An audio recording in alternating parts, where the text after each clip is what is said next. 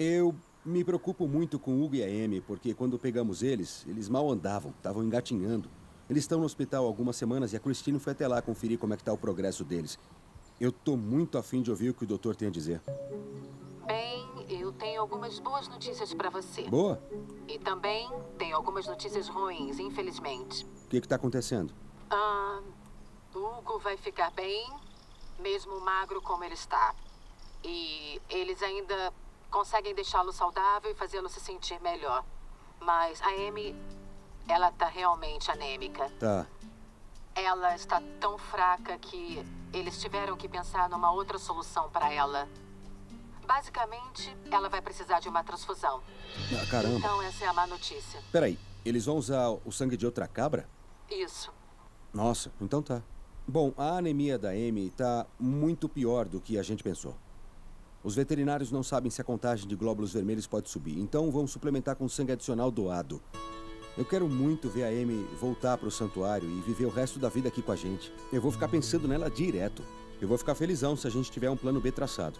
Eu estou confiante que ela vai superar tudo isso. Tá legal, te vejo mais tarde.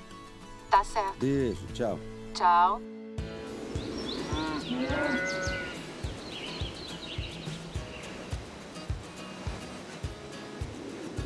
Joe. A Amy precisou de uma transfusão de sangue, mas encararam de frente e estão prontos para voltar. Como estão os meus bebês? Incrível. Essa é a melhor transformação que eu já vi. Oi, seus lindos. Isso é da noite pro dia. Vocês não vão correr. Oi. Eu vou levar ele no meu colo. Tá bom. Oi. Então, Hugo e a Amy estão voltando do hospital depois de terem tratado a anemia. Quando vi eles pela primeira vez, eles praticamente caíam no colo, não tinham nenhuma energia.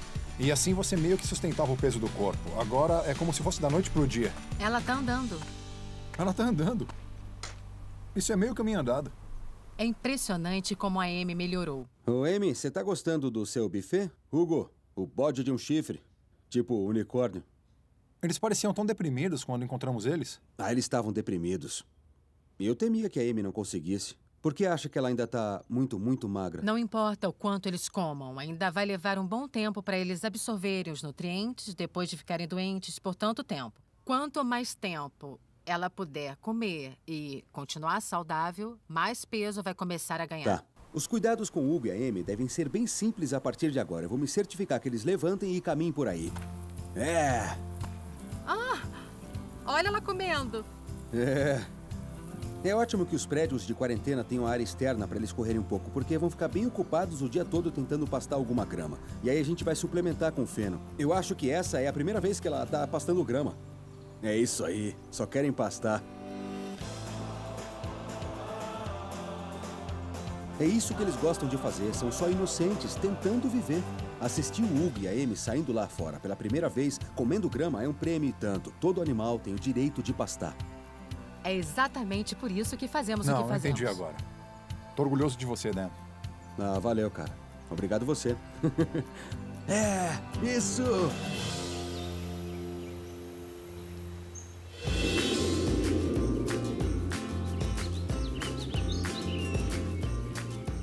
E aí, você tá animada, Lola? Porque eu tô animadão. Desde a primeira vez que eu vi a Lola, eu imaginava ela correndo por aí com todas as outras cabras. Hoje ela vai ganhar as próteses que vão ajudá-la a fazer isso. Nosso amigo Josh veio na semana passada para fazer os moldes dos pés da Lola. E hoje ele tá aqui para testar nela os novos sapatos. Já temos as sapatilhas, quer experimentar? Tá tudo bem. Tudo bem. Calma. Bom, vamos colocar isso, depois cuidamos das tiras e tudo mais. Depois vamos nos levantar e ver como ela se sai. É o seu sapatinho de cristal. Ela tem um pouquinho de flexibilidade para isso. Então, quando você puxar, puxe com firmeza até você conseguir acomodar bem. Tá e aí certo. ela não vai ficar escorregando. Isso. Oi. Tudo bem, vamos fazer mais uma Tá vez quase aqui. lá. Só mais uma aqui, então é hora é, da verdade. É, rufem os tambores. Bom, ela se acomodou bem neles. Nossa.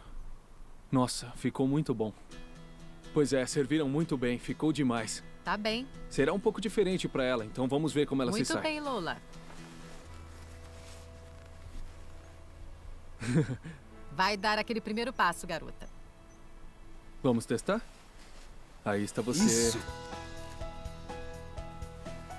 Passinho, passinho. Bom trabalho. Excelente. Ela parece bem com eles. Eles parecem muito bons. Nossa, eu tô arrepiado.